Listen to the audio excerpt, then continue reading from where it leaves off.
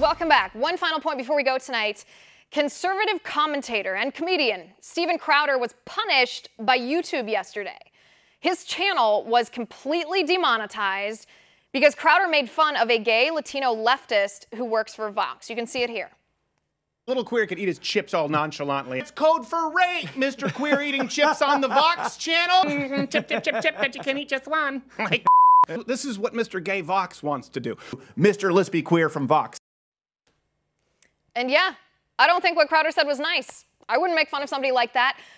But is that the standard? Is YouTube going to ban you or demonetize you if you hurt somebody's feelings or if you say something insulting?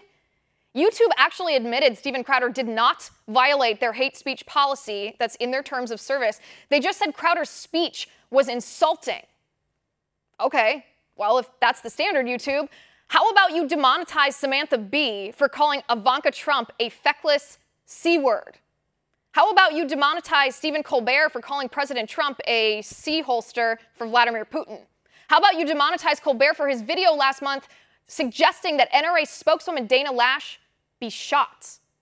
How about you demonetize Snoop Dogg for his video assassinating President Trump? Or Eminem for screaming F Trump? Or every rap video that I can think of that denigrates women as the B word and gay people with homophobic slurs? How about you demonetize the Young Turks for calling me a Barbie, mocking my appearance and telling me to get back into the kitchen and make sandwiches because I'm a woman? Isn't that insulting? Aren't all of these videos hate speech and promotion of violence or hatred against people or insulting speech against another person? How about Vox's own Carlos Maza, the ringleader of this radical leftist rage mob himself, for actively, literally promoting violence against conservatives when he told people to milkshake them all, or when he engaged in insulting speech by calling religious people insane, loathsome bigots.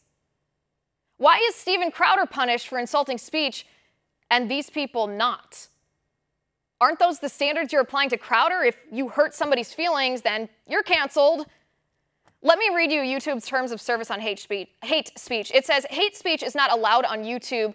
We remove content promoting violence or hatred against individuals or groups based on any of the following attributes: age, caste, disability, ethnicity, gender identity, nationality, race, immigration status, religion, sex, gender, sexual orientation, victims of a major violent event and their kin, veteran status.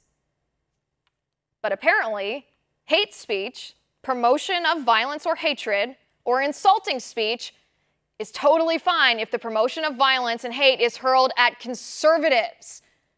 Whatever happened to the old classical liberal philosophy on free speech?